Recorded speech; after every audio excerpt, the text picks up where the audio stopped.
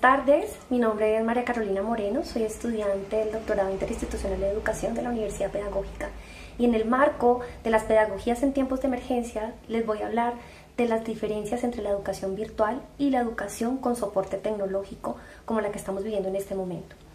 Cuando hablamos de educación virtual, principalmente el estudiante tiene que tener muy claro que su proceso es un proceso de autoformación.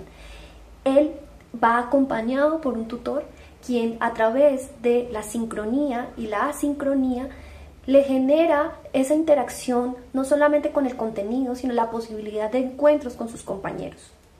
En este momento, donde la gran mayoría de universidades está yéndose hacia las plataformas tecnológicas LMS para dar soporte a sus clases, eh, algunos profesores están cayendo en esa gran necesidad de seguir dictando su clase presencial.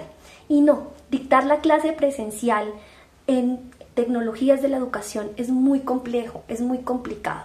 Entonces, ¿cuáles son esas posibilidades? Que traigamos cosas de la educación virtual, ¿cierto? Como las tutorías, hacia este apoyo de tecnologías.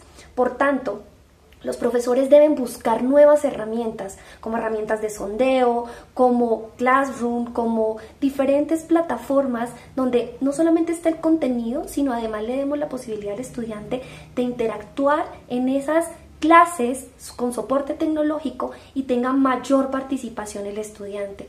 También nosotros como tutores o como profesores pues tenemos que tener en cuenta que dos horas de clase virtualmente pues son mucho más complejas.